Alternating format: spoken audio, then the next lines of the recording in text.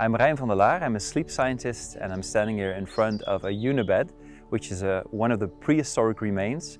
And the strong connection with my book is that I, in my book I talk about sleep in prehistoric people, in cavemen, and the title of the book is also called How to Sleep Like a Caveman. The reason I wrote this book is because I myself have suffered from insomnia for several years and when I wanted to get help uh, in my general physician, they were not able to help me uh, in a proper way. So I suffered from the problem much longer than I should. And um, then I started working as a sleep scientist and I found out that the treatment of insomnia, treatment of sleep problems is actually quite simple. One thing I would like to do is inform people about the different options you have to uh, treat insomnia, to get them have more knowledge about sleep and in this way uh, create a better world maybe. For a lot of people, changing your bedtimes and your bed ritual is actually quite enough to uh, have quite big, big results when you look at sleep. And uh, that was one of the biggest things I found out. Well, as a sleep researcher, I was used to writing scientific articles, which is uh, using a very different language than in popular science. So I thought it was really a challenge to uh, convert the data, convert the articles to something that everybody would understand, but I hope I succeeded in it.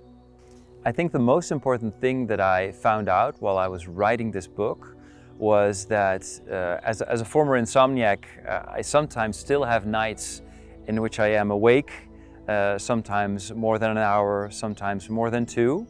What I've learned is that uh, it's nothing to worry about, that uh, lying awake itself is often not the problem, but the problem is how you lie awake.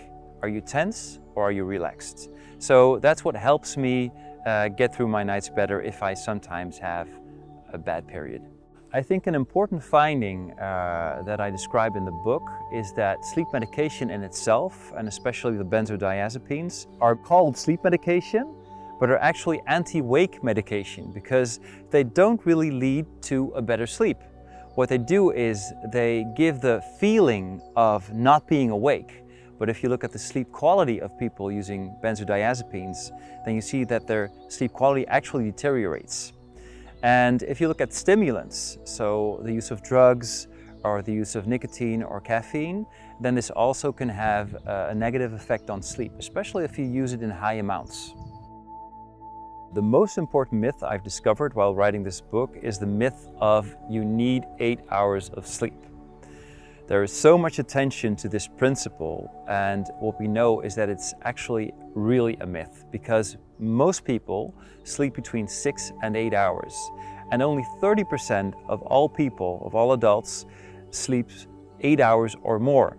So um, for a lot of people, it's not even possible to sleep eight hours. And um, if you constantly hear this remark, you have to sleep eight hours, it can be quite frustrating and it also does not contribute to a better night's rest.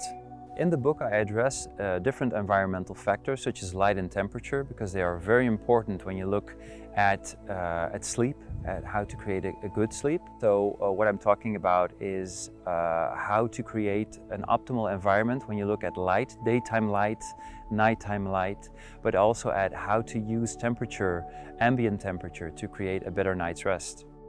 I think the book has sold in so many countries because uh, the subject of sleep is universal. Everybody sleeps, but there are also many people who suffer from sleep problems. And actually we see that this problem is only increasing. So I think a lot of people want to sleep better and uh, really want to focus on a better sleep. And uh, that's why the subject and also the book, How to Sleep Like a Caveman, is there's so much interest for it.